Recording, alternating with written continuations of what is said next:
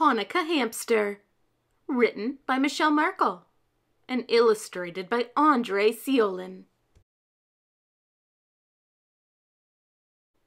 December had come to the city. Decorations glittered on the rooftops and windows. People rushed in and out of stores to buy gifts for the holidays. All day long, Edgar drove them in his cab. At the end of his shift, he was so tired. He climbed into the back seat of his cab and took a little nap.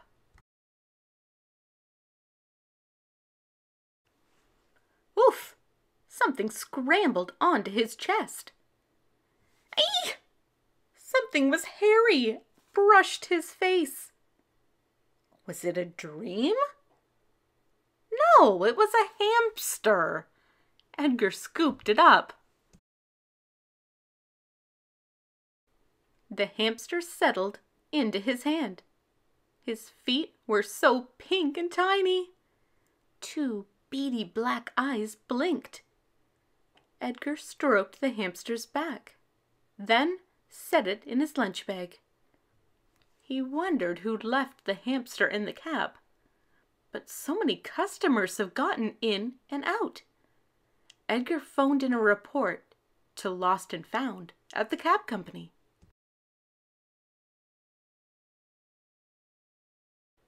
At his apartment, using a cardboard box and shredded paper, Edgar made a home for the hamster. There you go. He said the Hanukkah blessings, and while the night stars watched, he lit two candles on the menorah.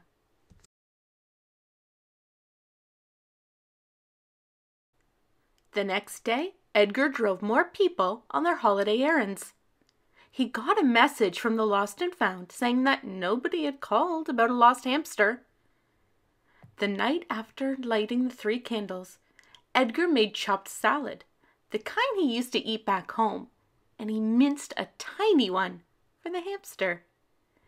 You and me again. Edgar looked at the cucumbers and chickpeas on his plate. Then he watched the hamster nibble on its own salad. Okay if I call you Chickpea? The following night, Edgar stopped at the lost and found desk. Has anybody called about the hamster?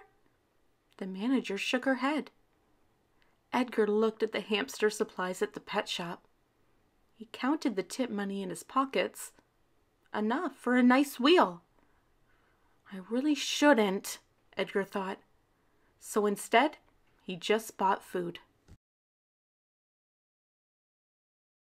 When he got home, he said the blessings and lit four candles. Chickpea got into the bowl with his hamster food. He did a black flip. Was that a little smile?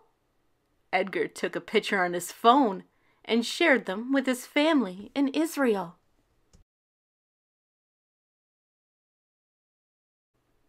Day five of Hanukkah dawned cold and brisk. Throughout his shift, Edgar checked for messages, but no one had claimed the hamster. That night, he made a slide out of a cardboard tube. Chickpea whooshed down it. His nose twitched.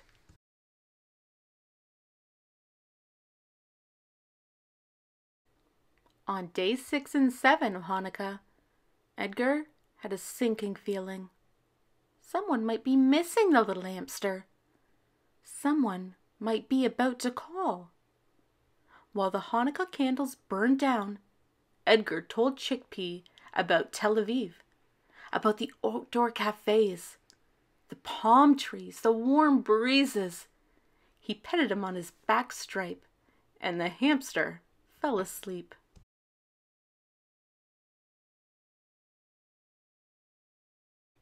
The next morning, Edgar drove a customer to the outskirts of town. When he stopped the cab, the house looked familiar. So did a woman standing in front of one of them with a boy.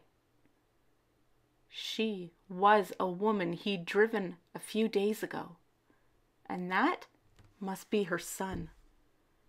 Edgar felt a punch in his heart.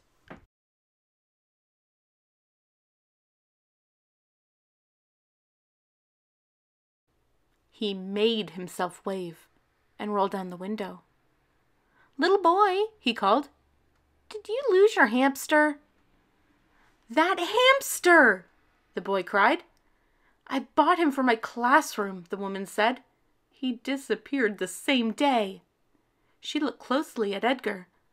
But I didn't think he escaped during the cab ride. We thought he was hiding in the bedding, the boy said. Then we saw the cage door was loose.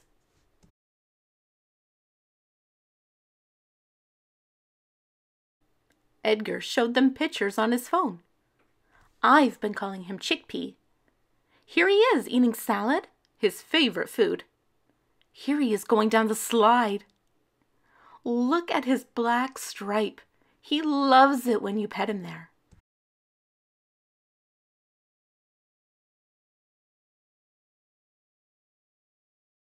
The woman squinted down at one of the photos.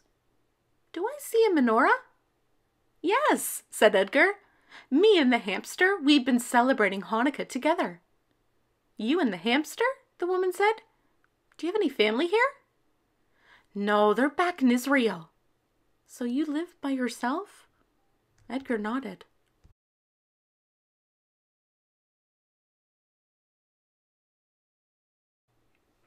Oh, it was very kind of you to take care of the hamster and to let us know. No trouble at all, Edgar said. You picked out a good one. He took a deep breath. So I have to return him to you. Tomorrow before work. I. I can. The boy touched his mother's arm, and the two of them exchanged glances. I think this hamster belongs with you, the woman said to Edgar. He looks right at home. She reached out to shake his hand and wished him a wonderful holiday. That evening, while the stars shone above the kitchen window, Edgar said the blessing and lit all the candles on the menorah. He set out a donut for himself and a new wheel for his friend. Happy Hanukkah, Chickpea! Thanks for listening, and don't forget to subscribe. Want to check out the last story we read? Here's the link. Do you have a favorite book you want read aloud? Just leave it in the comments below.